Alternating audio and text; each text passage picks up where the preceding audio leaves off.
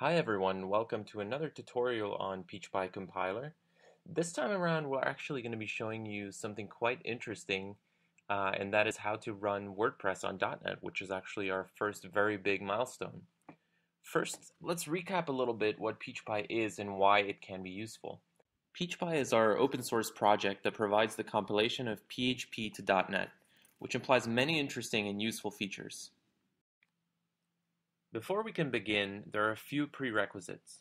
We need .NET Core 1.0, optionally Visual Studio Code and the corresponding Peachpie extension, and we also need WordPress.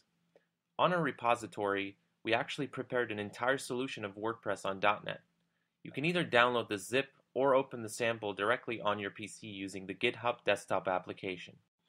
We already have it downloaded, so let's just open WordPress in VS Code, and here you can see the entire project. There are about five minor modifications of the standard version of WordPress for functions that PHP currently doesn't support yet. Here you can see the Kestrel web server that runs on Apache, ASP.NET, ASP.NET Core, IIS, so basically just everywhere. And here we can see the entire code of WordPress, as well as the .NET project JSON, where we added a specification that the compiler name should be PHP. Before we begin, let's take a quick look at our MySQL database that WordPress requires. Because we are on a development computer, we don't really want to install MySQL directly, so we will run it using Docker. We simply use this command that starts up our database in a virtualized environment on the standard port 3306. Once we hit enter, we immediately have a MySQL database running on our computer. As you can see, every project has some dependencies. So before we first launch, we first need to download all these dependencies.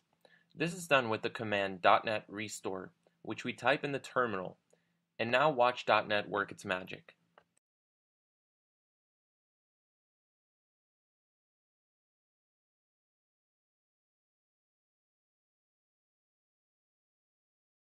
The second step is to compile and run the entire project. Because website has its own project JSON saying that we're going to compile it, and the web server also has a project JSON file stating one of the dependencies is this website, all we have to do is press F5, click the green arrow in VS Code, or type .NET Run in the terminal. As you can see, website is currently being compiled with Peachpie compiler. At this point, the entire project is being parsed and analyzed, tons of data is being generated, and a DLL file is created with our compiled website.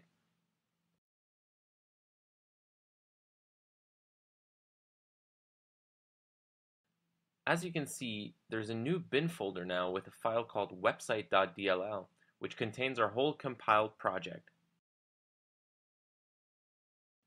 Our web server is already running on port 5004 thanks to our application. So let's type this address into our browser.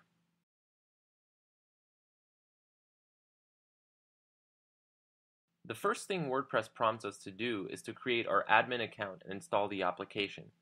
So let's fill out this information. So I'll call the site my.NET Core site. The username will be the default admin, and then the email can be mail at mail.mail or whatever. And here we are, the classic WordPress dashboard, only that it's running on .NET. Let's make it orange because peach pie, obviously. And now we can click through our site. Everything works exactly like it does in PHP, with the key difference that we're running this in a .NET environment. There really is no PHP, everything is compiled.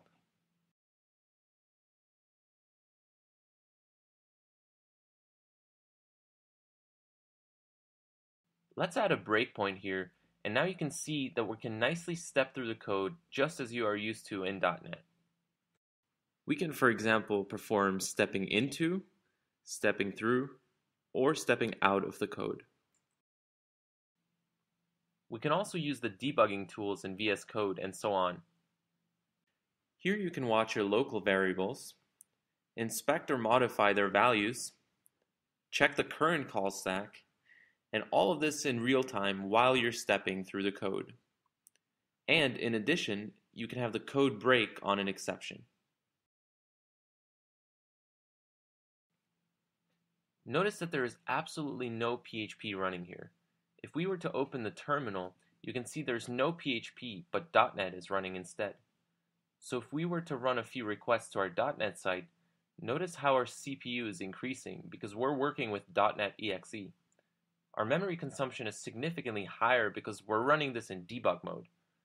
VS Code is conducting tons of diagnostics in the background, which obviously wouldn't happen in a production setting so the consumption would be considerably lower. And there you go. It really was that easy to run WordPress on .NET. In our WordPress site, we can do everything that you could in the standard version. However, keep in mind that Peachpie is still in version 0.5.0, so some functionalities are not yet supported. Take a look at our roadmap to see exactly which constructs we have yet to implement. Now it's up to each and every one of you to try it out. For more information, go to our GitHub repository where you can see more details. Be sure to follow our progress there and on Twitter or Facebook. Thanks very much for listening and happy compiling.